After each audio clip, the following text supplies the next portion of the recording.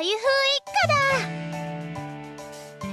天気予報にはもう傘マークはなかったし今日からはまた外で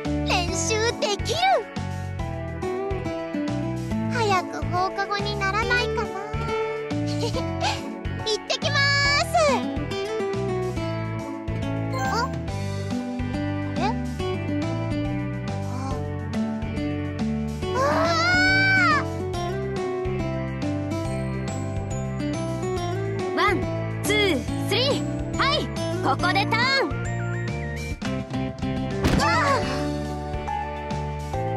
だ大丈夫？二人とも。うんうん。リコちゃんごめんね。怪我はない？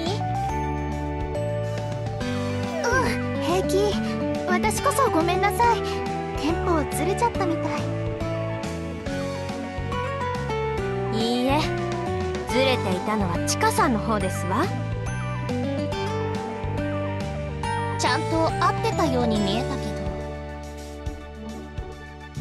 うーん確かに地下の方がちょっとだけ早かったかな。どうもさっきから集中できていないようですわね。そんな状態ではいくらやっても覚えられませんわよ。うんごめんなさい。シカちゃん何か気になることでもあるの？えっと実は。え？しいたけの家が？壊れちゃったの？屋根のとこが吹っ飛んじゃって残骸が庭の隅に。今はえず段ボールで応急処置してあるんだけど。まあ昨日まで台風のせいで雨風ひどかったからね。でもそんなことになってしいたけは無事だったの？無事だよ。台風の間はずっとうちの中に入れてたから。元気元気。つまりその犬小屋のことをずっと気にしていたということですの？うんだっていつまでも段ボール屋根じゃしいたけがかわいそうだし。もともと結構古かったんだ。また何かの拍子にどこか壊れちゃったら今度はしいたけが怪我しちゃうかもしれないし。からこの機会にしいたけの家を新しくしてあげようかなって。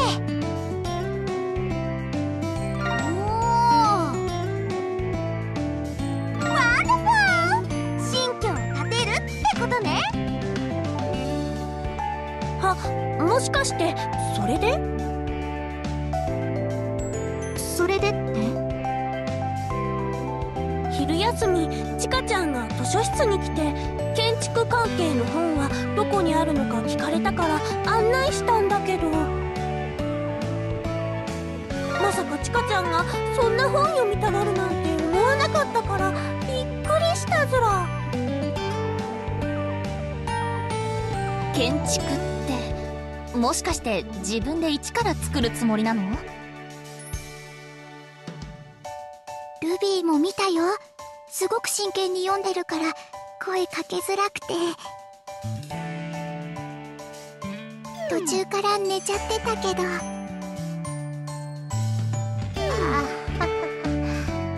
せっかくなら世界に一つだけの素敵な家をプレゼントしてあげたいんだ。人間で言えば自分の部屋ってことになるもんね。確かに事情は分かりましたわ。けれどだからといって練習中に上の空になっていいわけではありません。犬小屋の件は帰ってから存分に考えることにして今は練習に集中してください。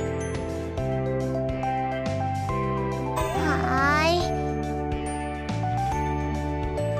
いいじゃないとことん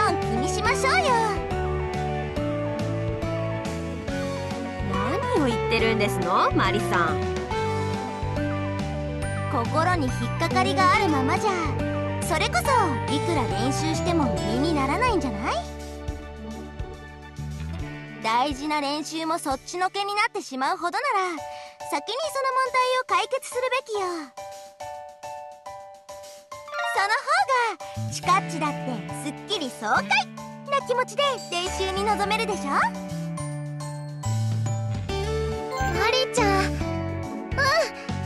くしいたけに新しい家用意してあげたい。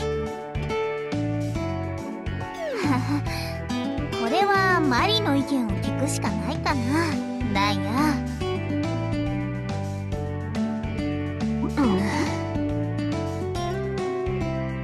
チカちゃんチカちゃん私たちも手伝うよ。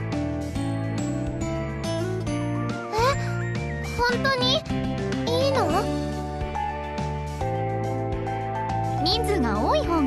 作業も早く終わるんじゃないかな。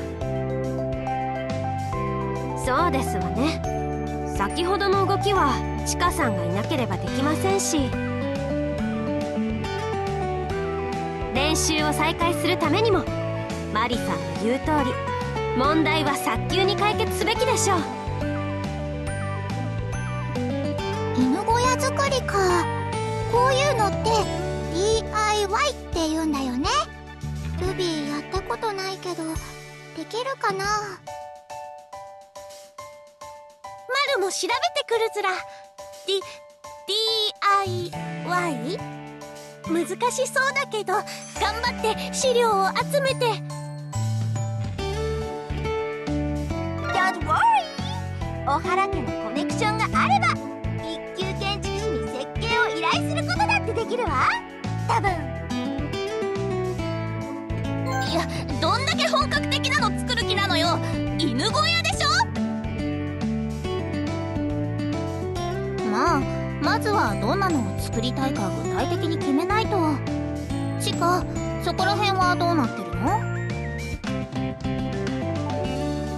えっとねいろいろ考えたんだけどログハウスっぽいのいい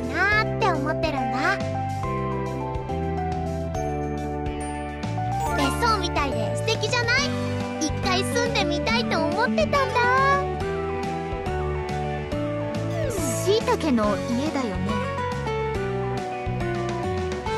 じゃあ今からデザインをまとめてちょうど明日お休みだしホームセンターに材料買いに行こうよ。